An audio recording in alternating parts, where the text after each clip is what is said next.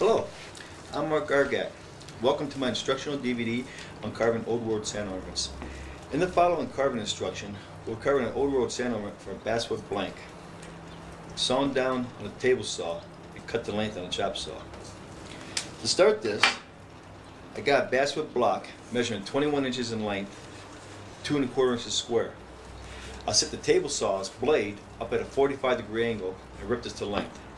After ripping to length, I'll cut this down in 7 inch sections.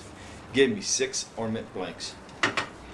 The blanks will look like this when cut down. Triangular in shape. We start in our face carving right on the corner. So, let's go down to the shop and get started on our Santa ornament. Bring that hairline in, facial line. Do the same thing the other side over here. Stop cut.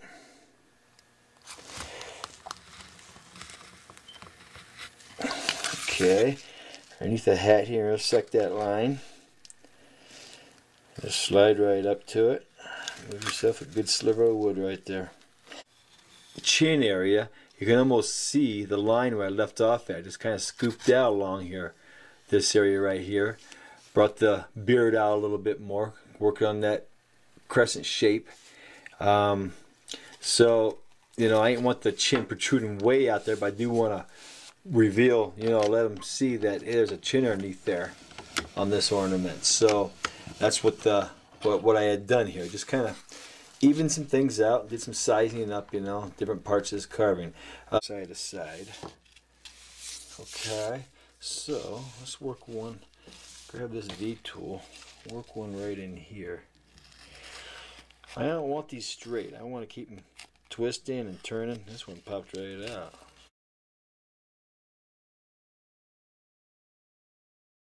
Uh, this hat's falling down into the tassel up. We'll take and blow dry that. Okay, this is what we got so far. You can see how um, these reds, that red on that hat, very um, chalky looking. DVD on uh, carving Old World Santa Claus. I hope you uh, enjoyed following or carving along as uh, much as I did in making this.